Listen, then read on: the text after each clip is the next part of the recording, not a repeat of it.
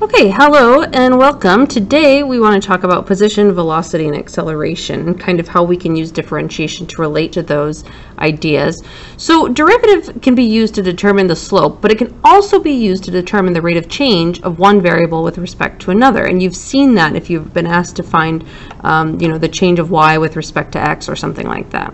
So, and we're talking about the position function. We're usually talk talking about um, the function, it's usually written as s of t, right? That's the position relative to the origin of an object as a function of time. Um, and you can think of objects moving along a straight line like people, cars, rivers, or vertical lines, balls, rockets, um, something that goes subject to gravity.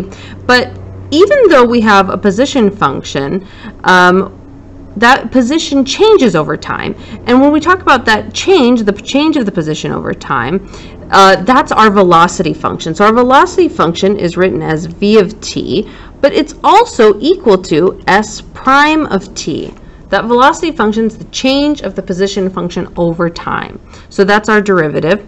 Um, and then we can also talk about our speed. Well, speed is just going to be the absolute val, the absolute volume, the absolute value of velocity. So speed does not indicate direction, right? You could go, be going into velocity forwards or backwards. You can have speed forward or backwards. So speed of an object has to either be positive or zero, no matter what direction you're going. Um, and it's just measured by the absolute value of velocity. And then finally, we can talk about acceleration. Acceleration is the instantaneous rate of change, which I'm just going to write as the IROC, the instantaneous rate of change of velocity. Well, what's that mean? It tells how quickly we speed up or slow down. It's the change of velocity with respect to time. So that's going to be written as a of t, which you can think of as the derivative of velocity, which is the second derivative of the position. All right? So let's actually kind of apply some of this. We're going to look at a graph here and talk about um, some position things. So here we've got a, a, the velocity of a function, right? So this is our derivative of the position function.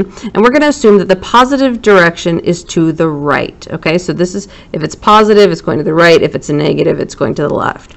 So when is this particle moving at a constant speed? Well, it's going to be a constant speed from 0 to 1 because the derivative, we're talking about speed, which is going to be the, the slope here is constant, so it's going to be from 0 is less than t is less than 1.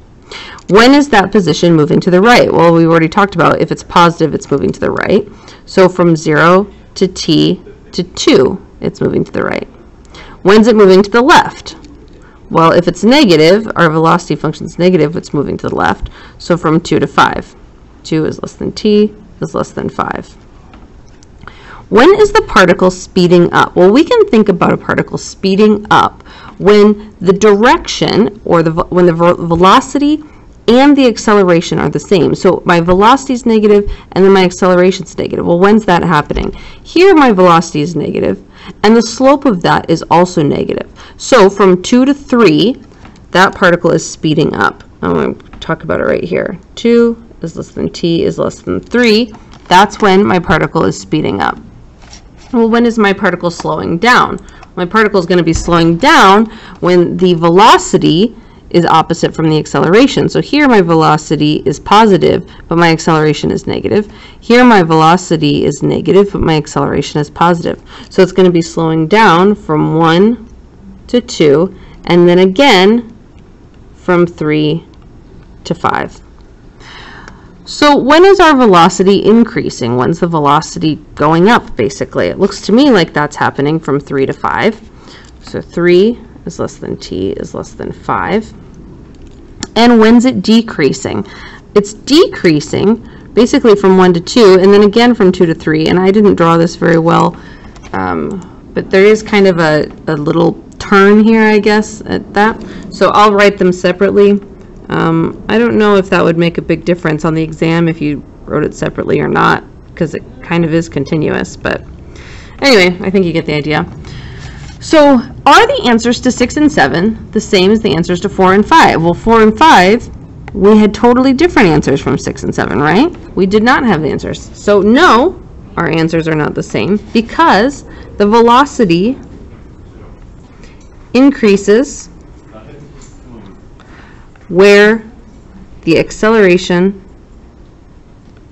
is positive. All right, so let's talk some more here. I'm going to go over here to number 9.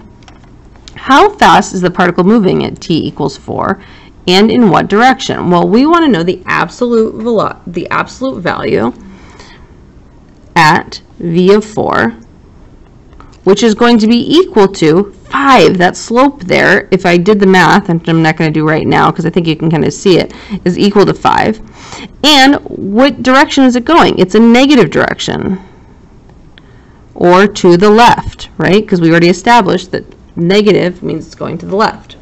What's its velocity at t equals 4? Well, at t equals 4, our velocity, v of t, is equal to negative 5, right? I could do that. I could just do, um, yeah, anyway. Negative 10 minus 0 over, I think it's 5 minus 3. That would equal negative 5. So what's the average velocity over the interval from 2 to 3? Well, the average velocity here I can do a negative 10 minus 0 over 3 minus, did I want 3 minus 2? From negative 2, from 3 to 2, to, to, to. Negative 10 to 0. Negative 10 minus 0 is negative 10 over 1. But actually, because I have two, time, two points in time here, you can see um, my average, I'm going to divide by 2. So my average velocity is going to be negative 5. Right? And when does our particle change direction? Well, we can see that our particle changes direction here at 2. Hopefully you can see that. Here at 2, it's going from positive direction to the right to negative direction to the left. So at x equals 2. All right, we're going to continue a few more questions with this. So I'm turning it over. I've drawn the same uh, image. Still not drawn very well, but hopefully it makes sense. So how far does the particle move during this first uh, first second, it's kind of awkwardly written, how far does the particle move during the first second and which way? Well, during the first second, it moves 5 units, right? So this is how far it's moved, 5 units to the right, 5 units per time, per second, I guess, um, to the right. And how far to the right does the particle go, and when does it arrive there? Okay, well, that you can kind of see. Here it's gone 5.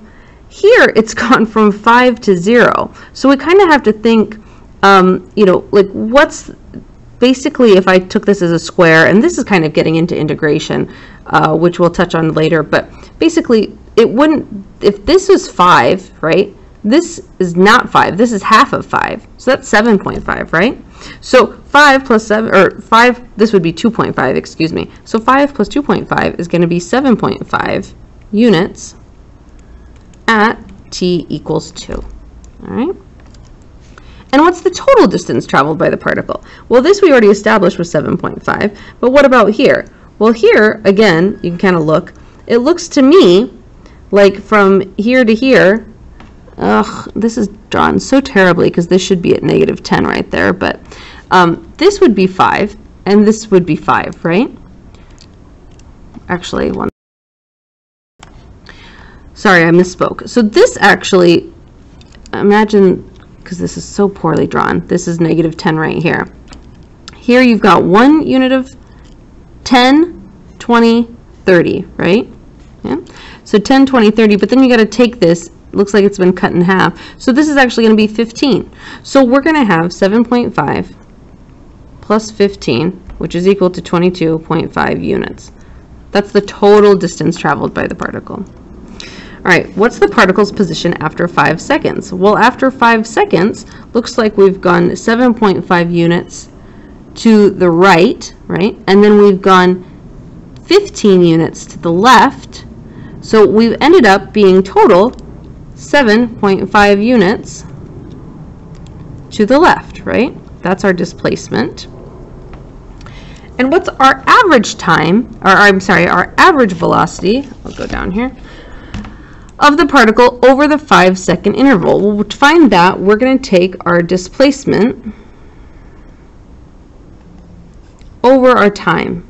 Well, our displacement we already established was 7.5 minus 15 divided by 5, which is going to be equal to negative 1.5. So are these answers the same? No. 15, uh, they answered number 15, so 22.5, so or I'll just say number 15, is the total distance, and number 16 is displacement, right? So it's going forward and it's backwards, right? And hopefully you can kind of understand the difference between that, um, that it, it's going forwards and backwards. And so even though it's traveled a lot, it hasn't really gone very far. So let's talk about number 19. What's the average speed over this five second interval? Well, we're going to take the total distance divided by the time. So we're going to take 22.5 divided by 5 is equal to 4.5. That's our average speed.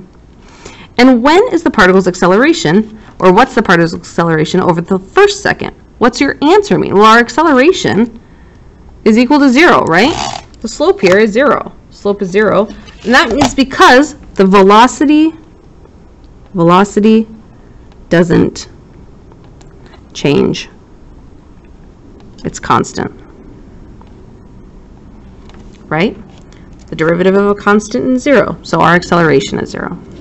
All right, so we have a few more here. 22, over what time intervals do we have negative, or I'm sorry, does it have negative acceleration? Yeah, when do we have negative, oh, did I skip 21? Well, I think I did, but I didn't write it down. So when do we have negative acceleration?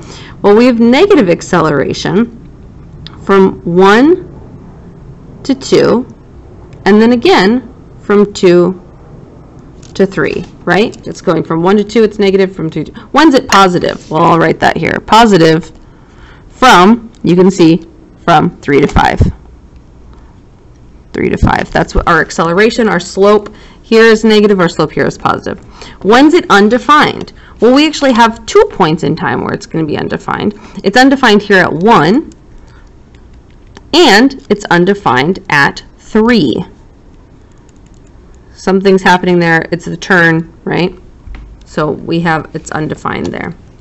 When's an interval where we have positive acceleration, but we're slowing down? Well, to me, it looks like that's happening from 3 to 5. So our, our we have positive acceleration here, but because we're going left, we're slowing down. So from 3 to 5. And when is our acceleration negative, but we're speeding up? Well, that's happening from 2 to 3. We're going to the left, so from 2 to 3, we're going to the left, and we're going negative. So we're speeding up from 2 to 3. And what's our acceleration from 3 to 4? Well, that's just the slope of this. It's 5. Acceleration is equal to 5. What's the average acceleration on our 5-second interval? Well, to find that, we're going to take v of 5 minus v of 0 over 5 minus 0. So v of 5 is 0, right, minus v of 0 is 5 over 5 minus 0. So that gives us negative 1. So our acceleration is negative 1, our average acceleration. And over what time is the velocity decreasing at a rate of 5 feet per second? Well, it's decreasing from 1 to 2, right? That would be our slope right there. So decreasing from 1 to 2. Okay, hopefully all of that makes sense. I know it's kind of a lot to take in, but just kind of um, work through it. We'll do our uh, worksheet together in class, and any questions you have, please leave in the comments. Uh, if you've taken physics, this should relate to that a lot, so hopefully I helped make it clear and didn't muddy it up too much. All right, see you in class. Bye.